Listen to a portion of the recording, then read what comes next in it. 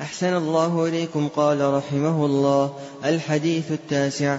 عن أبي هريرة عبد الرحمن بن صخر الدوسي رضي الله عنه أنه قال سمعت رسول الله صلى الله عليه وسلم يقول ما نهيتكم عنه فاجتنبوه وما أمرتكم به فأتوا منه ما استطعتم فإنما أهلك الذين من قبلكم كثرة مسائلهم واختلافهم على أنبيائهم.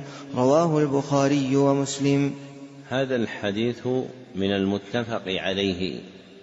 فرواه البخاري ومسلم واللفظ لمسلم لكنه قال فافعلوا منه عوض قوله فأتوا منه.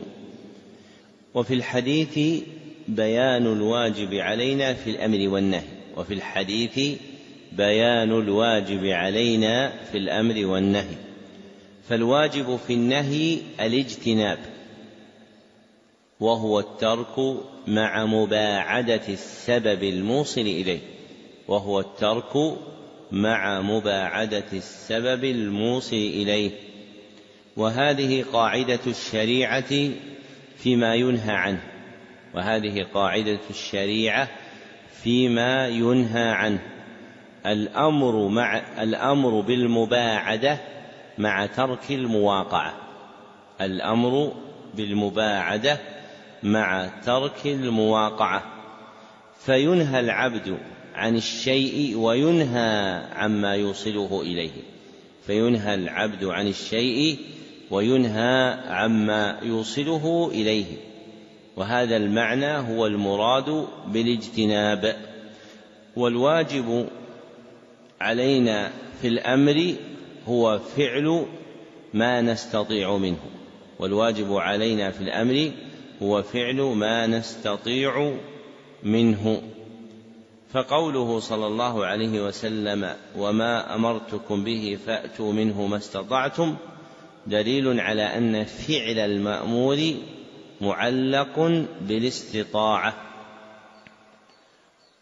ثم قال فإنما أهلك الذين من قبلكم كثرة مسائلهم واختلافهم على أنبيائهم. وهم اليهود والنصارى. هلكوا لكثرة مسائلهم واختلافهم على أنبيائهم. وذكرت حالهم بعد بيان ما علينا ما يجب علينا في الأمر والنهي.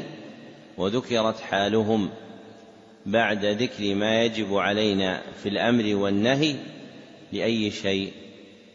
لماذا هذه الجملة جاءت في الحديث؟ ذكر ما يجب علينا في النهي وذكر ما يجب علينا في النهي ثم قال فإنما أهلك الذين من قبلكم.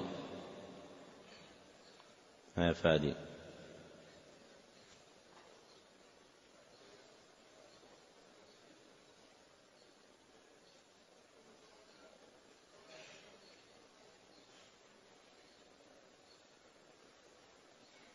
يا صالح. أحسنت. وذكرت هذه الجملة بعد بيان ما يجب علينا في الأمر والنهي لحثنا على الاستسلام لشرع الله. لحثنا على الاستسلام على لحثنا على الاستسلام لشرع الله. فلا ننازعه بالمخالفة في الأمر أو النهي.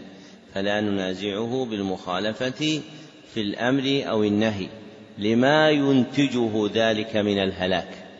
لما ينتجه ذلك من الهلاك. نعم.